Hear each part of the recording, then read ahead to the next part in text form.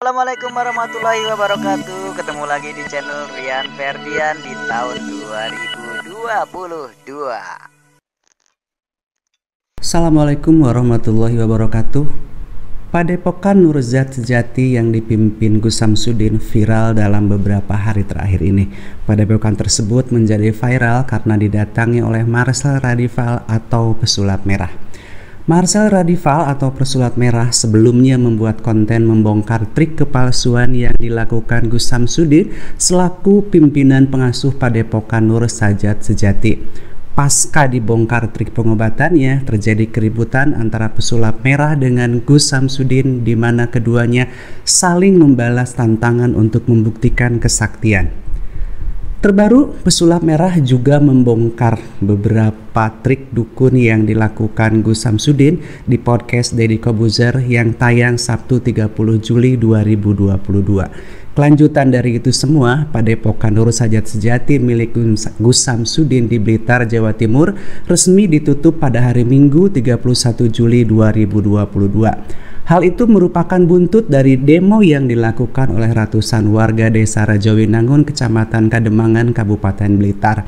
Warga bersama pemerintah desa Rajowinangun bersepakat untuk menutup permanen padepokan tersebut. Menurut warga, praktek pengobatan yang dijalankan Samsudin selama ini hanyalah penipuan semata.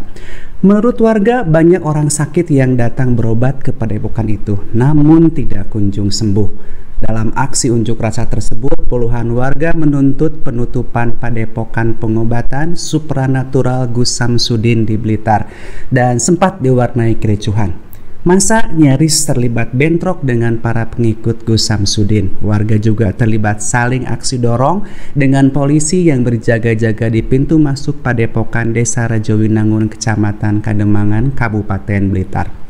Nah, Berbicara tentang padepokan tentu kita masih ingat dengan pemberitaan beberapa tahun lalu seputar padepokan di Sukabumi yang dipimpin oleh almarhum A. Gatot Brajamusti. Padepokan tersebut disebut-sebut tempat belajar agama bagi sejumlah murid-muridnya dan juga tempat pengobatan.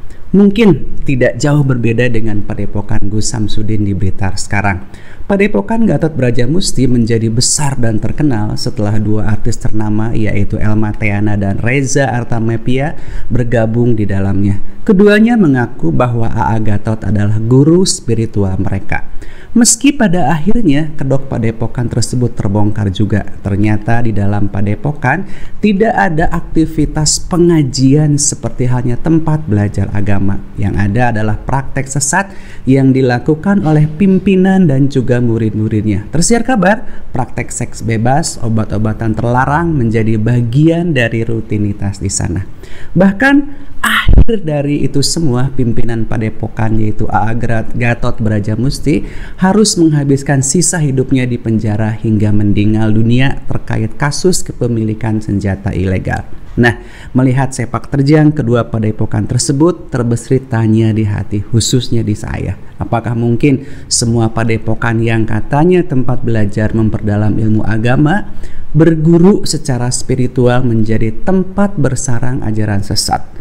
Lalu, apa yang membuat orang-orang begitu tertarik untuk bergabung di dalamnya? Harus kita akui bahwa pemahaman kita seputar keagamaan mungkin saja sedikit agak kurang. Hal tersebut bisa jadi yang membuat kita mudah percaya pada hal-hal yang seperti itu. Asal berjubah, mengaku guru spiritual yang katanya memiliki kemampuan ilmu agama, ilmu pengobatan, ahli spiritual, kita begitu mudah jatuh hati dan percaya. Pada akhirnya, ketika kita sendiri yang sulit berpaling, sudah di bawah pengaruh dan kekuasaan pimpinan padepokan.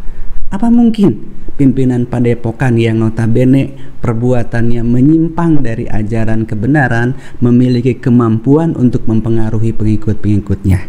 Ya, semacam ilmu hipnotis Begitulah yang membuat para pengikutnya selalu patuh dan taat pada pimpinannya. Mungkin benar apa yang dikatakan Marcel pesulap merah bahwa orang semacam Gus Samsudin memiliki trik sesat untuk melakukan penipuan terhadap pasien dan juga para pengikutnya.